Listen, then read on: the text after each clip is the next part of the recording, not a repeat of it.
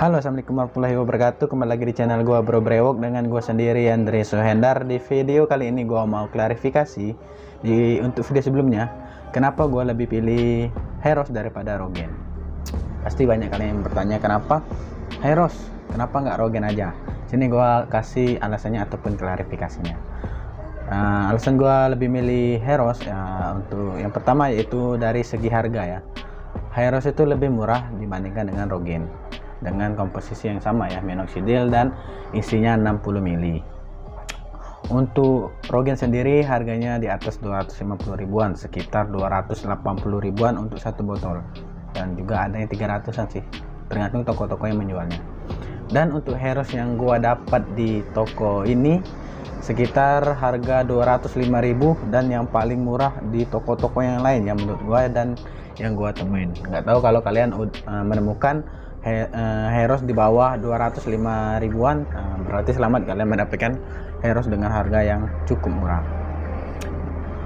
Dan uh, untuk kandungannya sendiri ya Heros itu menurut gua kelebihannya itu non alkohol dan uh, ada satu kandungan tambahan yaitu aloe vera yang kita tahu aloe vera ini juga bagus untuk pertumbuhan rambut ataupun berewok berbeda dengan rogen rogen ini setahu gua ya uh, koreksi jika gue salah ya. Uh, mengandung alkohol walaupun mungkin nggak sebanyak minoxidil Kirkland alkoholnya.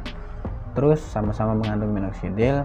Dan untuk kandungannya sendiri itu kalau nggak salah lebih kurang sama dengan uh, minoxidil merek Kirkland. Dan yang membedakan mungkin dari uh, pabriknya ya dan uh, kualitas dari bahan minoxidilnya sendiri ataupun kandungan minoxidilnya lebih banyak daripada uh, merek Kirkland ya gue juga nggak tahu. Tapi dari info yang gue dapat kalau kandungan dari Rogen itu tidak jauh berbeda dengan uh, minoxidil Kirkland yang uh, kandungannya itu seperti mana ya? Kemarin tuh gue pernah baca di sini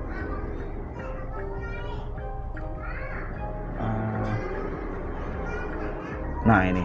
Nah, inactive ingredients ya alkohol propylene glycol dan purified water. Nah sama di Rogen juga mengandung itu dari info yang gua dapat jika kalian uh, punya botol Rogen Nah, kalian bisa cek ya isi kandungannya apakah sama dengan Indonesia atau enggak. Karena gue juga belum mempunyai uh, rogen jadi gue nggak bisa pastikan.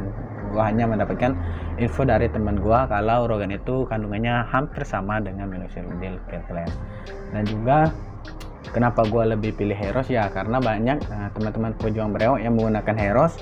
Dan uh, progresnya itu menurut gue cukup memuaskan. Dan gue juga gue buktikan ya untuk satu minggu ini uh, gua cukup puas dengan hasilnya dalam satu minggu ini. Bagaimana jika gua uh, oles Heros itu sampai di bulan ketiga Heros ataupun tiga botol Heros mungkin aja pertumbuhan uh, gua nggak sampai di tiga tahun mungkin dua tahun setengah ataupun di bawah dua tahun setengah.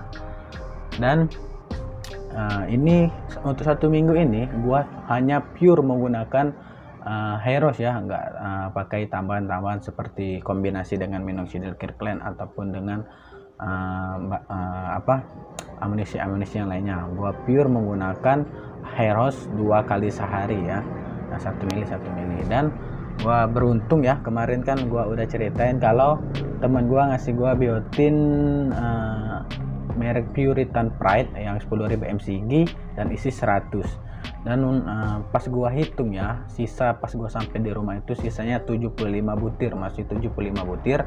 Dan waktu di Palembang itu gua udah konsumsi sekitar 3 butir atau 2 butir dan di rumah itu sekitar 2 butir. Yang berarti total teman gua ngasih itu uh, ada 80 butir. Berarti teman gua itu baru konsumsi sekitar 20 butiran uh, biotin. Dan dia terkena uh, efek gatal-gatal ya katanya. Badannya jadi gatal-gatal setelah uh, konsumsi biotin itu. Memang ada sih orang yang nggak bisa konsumsi biotin. Mungkin dia alergi terhadap gelatin ataupun gimana. Kalau mungkin kalau dia coba yang 7500 mungkin nggak ada efek gatal-gatal uh, baiklah mungkin itu saja ya uh, video dari gua semoga kalian suka dan jangan lupa like, comment, dan subscribe channel Bro Brewok agar kalian mendapatkan notifikasi video terbaru dari Bro Brewok dan upgrade uh, dan update soal perkembangan amunisi minoxidil Kirkland yang selalu ada pembaruan dan selalu ada minoxidil palsu yang diupdate juga yang tentunya. Jadi kalian harus wajib uh, subscribe channel Bro Brewok dan di sini juga gua rekomendasikan toko yang terpercaya menjual minoxidil Kirkland, Hyros dan amunisi lainnya.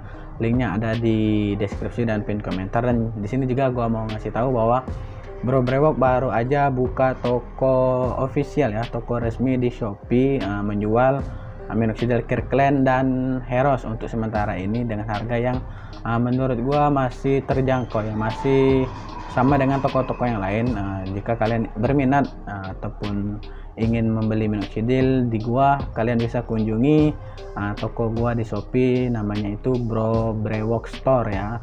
Ataupun kalian bisa ketik Bro Store ya. Ataupun nanti akan gua cantumin linknya di deskripsi dan pin komentar link pembelian minoxidil di toko gue dan di toko-toko yang lain. Tinggal kalian sendiri yang milih mau beli di toko yang mana Oke baiklah mungkin itu saja video dari gua dan terima kasih telah menonton sampai uh, sampai habis. Bye bye.